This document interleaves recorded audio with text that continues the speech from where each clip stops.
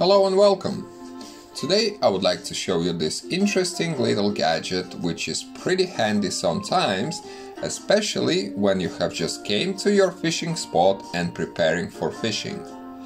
I'll put the links in the description if you would like to compare the price where I bought it and to Amazon.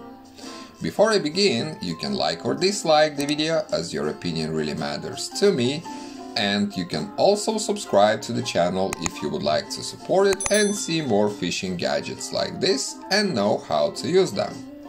I publish my videos twice a week on Mondays and Thursdays. As you can see, this gadget is pretty small. The length is only about 2.4 inches or 62 millimeters and the width is 0.7 inches or 19 millimeters. It is stated that it is made from bamboo, but to me it seems more like wood, but who knows? I'm not an expert and to me, as long as it does the job well, I'm not really worried about the material. It has two magnets, which are supposed to be placed a bit deeper inside of these two holes in order not to scratch the paint when you are using the tool. If you will decide to order this gadget, make sure that you will check the position of these magnets.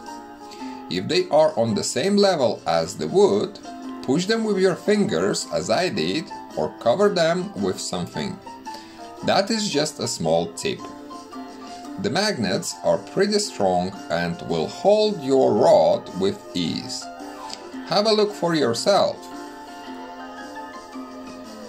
Let us imagine that you came to your fishing spot and parked your car.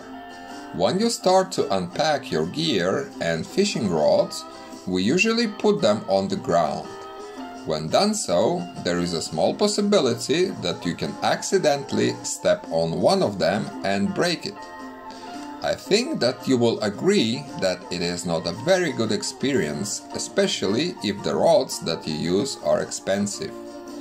To prevent that from happening, you just use this tool. You put the rod between these two magnets into this specially designed hole and securely placed it against your car so that you could do other things without bothering about the safety of your rods.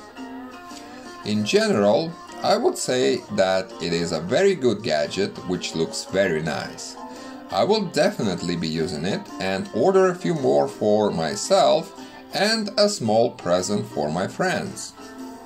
If you have any questions, leave a comment under the video and I'll try to reply to all of them and I really hope that the time you've spent watching this video was useful.